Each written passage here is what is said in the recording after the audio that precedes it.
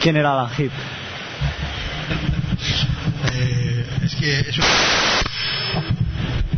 es una historia un poco larga. Eh, nosotros, eh, eh, uno de los primeros juegos que hubo en Spectrum fue uno que se llamaba Ant Attack.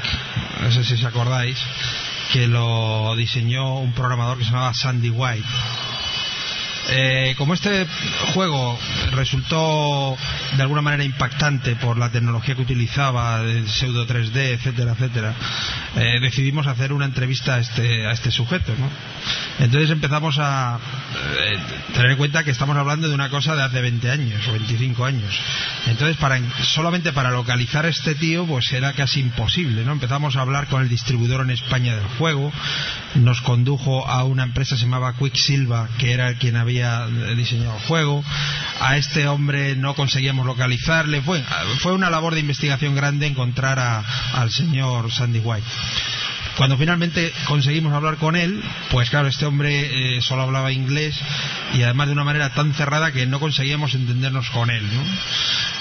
Y de pronto él mismo nos dice, esperar un momento que tengo un amigo que habla español y voy a, voy a hablar con él para, para ver si podemos hacer la entrevista utilizándole a él de traductor y nos pareció una idea estupenda. Entonces dijimos, bueno, pues llámenos dentro de media hora cuando hayas contactado con tu amigo. Y efectivamente eh, nos coge el teléfono un señor que hablaba magníficamente castellano, de hecho, por lo visto, estaba casado con una chica de Málaga. Y a partir de ahí, bueno, nos resultó tan gracioso que hablara casi con acento andaluz eh, el inglés que dijimos, ah, pues mira, si no te parece mal, vamos a tomar nota de tus datos para cuando tengamos que entrevistar a, otro, a otros programadores, a otras personas, nos puedas echar una mano como traductor. Y este hombre era Alan Heap.